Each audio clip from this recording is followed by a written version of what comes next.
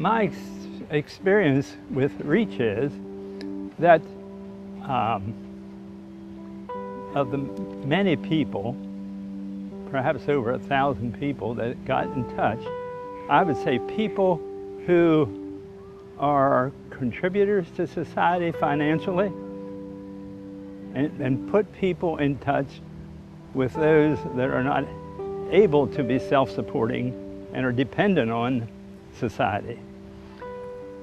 And that has had a huge impact on the faith community, uh, on the volunteers, and has brought a lot of response. It brought a lot of insight and empathy to, uh, for people that are less fortunate than I am, or the volunteer is. So, and that is huge. When the community understands and gets in touch with the feelings and the experiences of persons who are less fortunate than they are.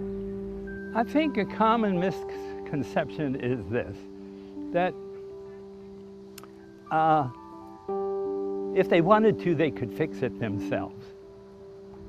And the truth of the matter is,